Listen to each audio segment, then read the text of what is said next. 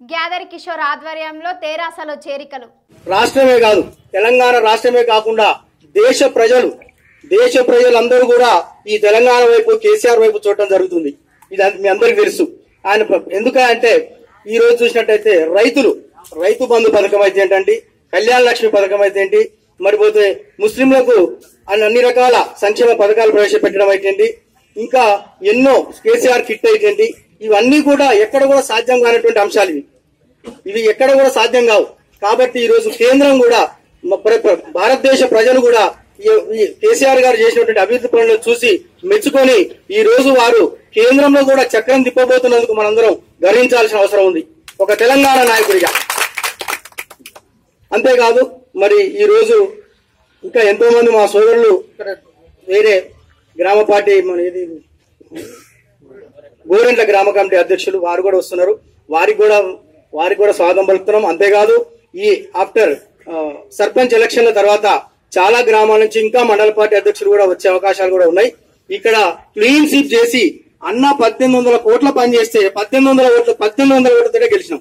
ఈసారి పద్దెనిమిది వందలు కనీసం కనీసం ఒక ఇరవై ఐదు వేల మెజార్టీతో గెలిపిస్తామని నేను చెప్ నేను కంకణబద్దునై ఈ పార్టీకి కట్టుబడి ఉంటానని తెలియజేస్తూ నాకు ఈ అవకాశం కల్పించిన పెద్దలందరికీ కూడా నా యొక్క హృదయపూర్వక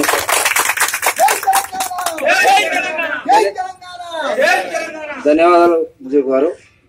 ఈ రోజు నుండి మండలపాటి కార్యక్రమానికి మండల పార్టీకి మీ యొక్క అండదండలు సహకారాలు సూచనలు కూడా ఇవ్వాల్సిందిగా మండలపాటి పక్షాన్ని కూడా మీకు పూర్తిగా స్వాగతం సుస్వాగతం తెలియజేస్తూ యొక్క సమావేశం ఉద్దేశించి మన ప్రియతమ నాయకులు గాదర్ కిషోర్ కుమార్ గారిని మాట్లాడుతూ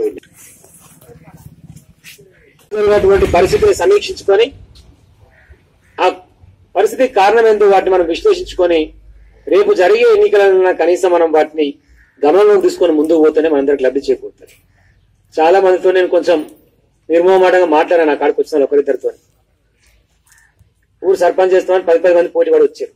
మరి ఆ ఊళ్ళో రెండు వందల ఓట్లు మైనస్ గారపై మనకు. అంటే గెలుస్తా అనుకుంటారు మీరని నేను అడిగిన. మరి అడగాలి కదా నేను కూడా. అంటే ఇప్పుడు గెలుస్తాం సార్ అంటాడు. అంటే మొదటి దాకానైతే నువ్వు నాకు ఓటు రాలేదు రెండు వందలు తక్కువ వచ్చినాయి నువ్వేటే గెలుస్తావు అంటే ఇప్పుడు నువ్వు గెలిచినావు కాబట్టి నేను గెలుస్తాను. అంటే ఎమ్మెల్యే గారు వాని వాళ్ళు గెలిచి రావాలి తర్వాత వాళ్ళు పట్టుకొని నేను గెలవాలి కానీ నేను మాత్రం పార్టీకి పని చేయదు ఎమ్మెల్యే గారిని పని చేయదు ఇట్లుంటది ఎక్కడ న్యాయం. కాబట్టి దయచేసి మనం కూడా ఆలోచన చేసుకోవాలి. అందరూ కూడా విజ్ఞప్తి ఏంటంటే జరిగిన పొరపాట్లను ఏమరపాట్లను సరిదిద్దుకొని ఎక్కడైతే ఓటు తగ్గినాయో వాటిని పరిశీలించుకొని టిఆర్ఎస్ పార్టీ జెండా తుంగదుర్తి నియోజకవర్గం మీద ఎగిరింది కాబట్టి మళ్ళీ sarpanch MPTC PSCS MP ZPTC ఏ ఎన్నికైనా సరే టిఆర్ఎస్ పార్టీ జెండాని ఎగరవేసుకోగలిగితేనే మీకు కానీ నాకు కానీ గౌరవం ఉంటుంది. లేకపోతే గౌరవం ఉండే పరిస్థితి ఉండదు. దయచేసి దాని అందరం అర్థం చేసుకున్నాము. కేడి వచ్చాగానే ఇక్కడ పోయి లేడా కేడి? పిలవైతుంది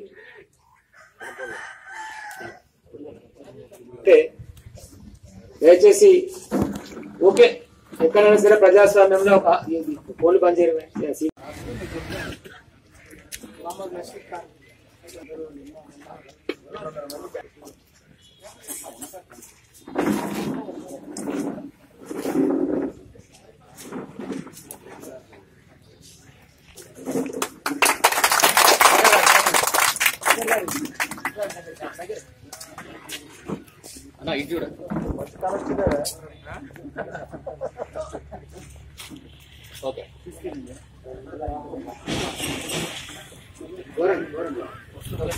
గోరెంట్ల గ్రామానికి చెందిన నాయకులు. వెంకటేశ్వర గారు.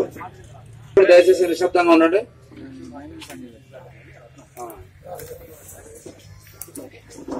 ఈ సమావేశం యొక్క ముందు ఒక రెండు నిమిషాలు మాట్లాడిన తర్వాత మన ప్రియతమ నాయకులు శాసనసభ్యులు గారు మాట్లాడతారు. ఉండాల్సింది విద్య చేస్తారు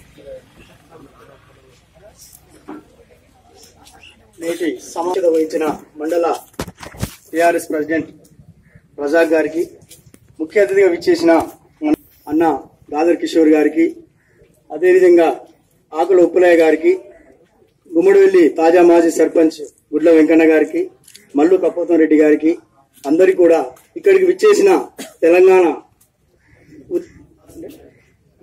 సారీ విద్యాల రవీంద్రరావు గారికి అందరికి కూడా ఇక్కడికి విచ్చేసిన టిఆర్ఎస్ ముఖ్య కార్యకర్తలు తెలంగాణ సైనికులందరికీ కూడా నా యొక్క